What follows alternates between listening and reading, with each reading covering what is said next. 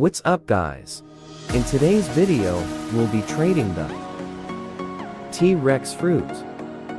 So without further ado, let's get right into it.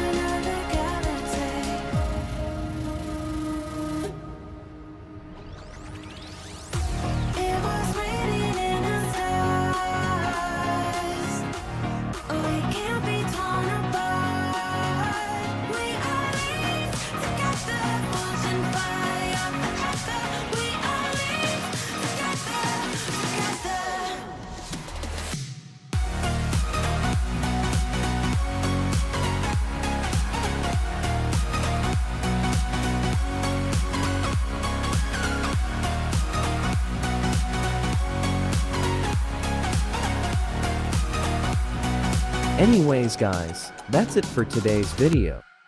Please subscribe. Thanks for watching, goodbye.